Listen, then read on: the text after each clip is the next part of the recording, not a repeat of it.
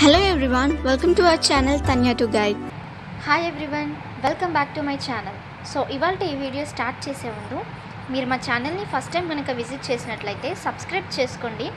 అలాగే పక్కనే ఉన్న బెల్లైకన్ పైన క్లిక్ చేయండి. అండ్ ఇవాళ వీడియో అనేది స్టార్ట్ చేద్దాం.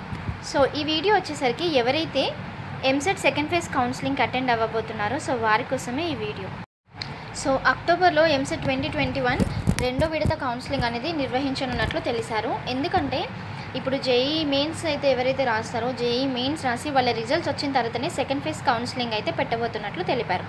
సో ఇప్పుడు ఆల్రెడీ ఇప్పటికే ఫస్ట్ ఫేజ్ కౌన్సిలింగ్లో సీట్లు అనేది కేటాయించారు కదా. సో ఆ కాలేజెస్లలో ఎవరైతే స్టూడెంట్స్ లైక్ రిపోర్ట్ చేశారో సెల్ఫ్ రిపోర్టింగ్ ఈ నేపథ్యంలో మిగిలిన సీట్లకి రెండో విడత కౌన్సిలింగ్ అనేది అక్టోబర్ ఫిఫ్టీన్త్ తేదీలోపు నిర్వహించినట్టు తెలిపారు.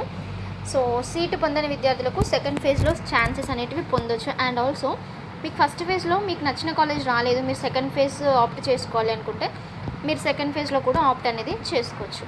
ఓకే సో మీకు ఇంకా ఎలాంటి డౌట్స్ కనుక ఉంటే కింద కమెంట్ అనేది చేయండి. నేను నెక్స్ట్ వీడియోలో వాటికి సంబంధించి ఆన్సర్స్ అనేది చేయడానికి ట్రై చేస్తాను.